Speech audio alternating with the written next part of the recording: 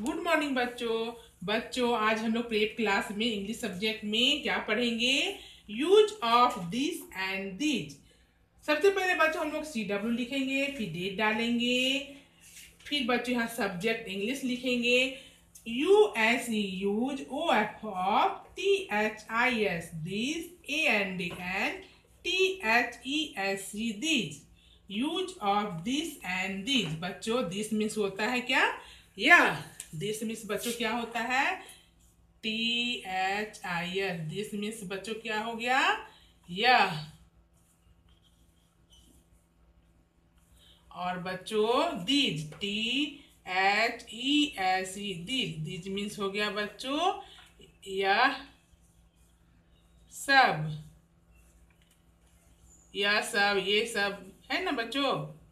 अब बच्चों हम लोग देखेंगे दिस और दिस का यूज़ कहाँ होता है? बच्चों दिस का यूज़ होता है, कोई सामान अगर हमारे पास में है, जैसे बच्चों, ये मार्कर है, हमारे पास में है, जैसे ये मार्कर है और ये बोर्ड के व्हाइट बोर्ड के पास में है तो हम लोग यहाँ क्या चीज़ का यूज़ करेंगे? दिस का।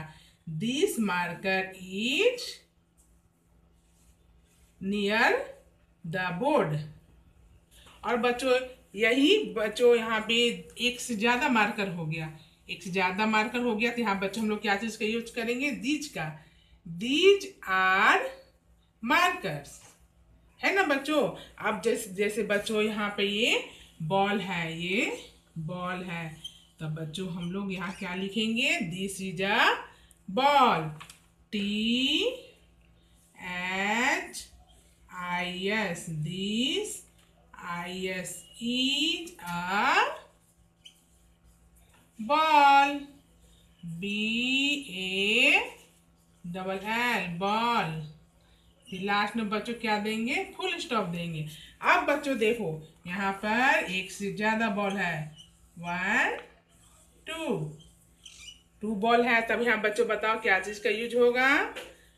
दीज का यूज़ होगा। यहाँ क्या लिखेंगे हम लोग? These T H E S E these are A R E are balls b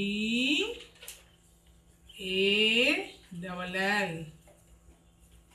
S balls. अब बच्चों देखो यहाँ पे क्या है? मैंगो है। मैंगो वन मैंगो है। तो बच्चों बताओ क्या चीज़ का यहाँ यूज़ होगा? दिस का क्या चीज़ का यूज़ होगा? दिस का T H I S this is I S is A mango M A N G O. Mango बच्चे, यहाँ लास्ट में क्या देना है? फुल स्टॉप देना है। अब बच्चों, अब देखो यहाँ पे एक से ज़्यादा मैंगो हो गया। वन टू थ्री बच्चों, यहाँ पे कितने मैंगोज हो गए थ्री मैंगोज हो गए तो बच्चों बताओ यहाँ पे क्या चीज़ का यूज़ होगा? डीज का T H E S C these these are A R E are mangoes M A N G E S mangoes M A N G O S mangoes इसी तरह बच्चों अब यहाँ पर देखो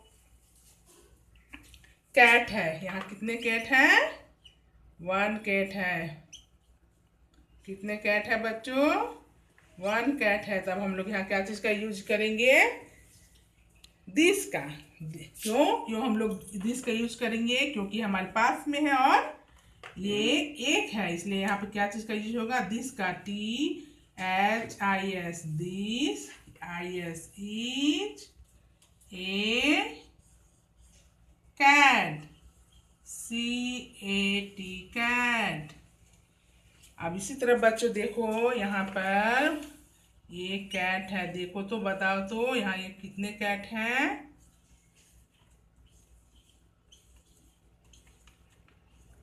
वन से ज़्यादा है ना? कितने कैट है?